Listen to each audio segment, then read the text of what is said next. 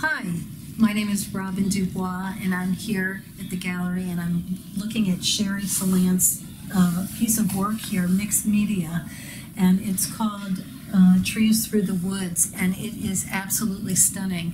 The thing that captured me the most immediately when I walked into the room was the colors. They're so vibrant, and it has such a intense sense of design uh, through the trees, and I am so impressed by this piece of work. It's a piece that I would love to hang in my home. Thank you.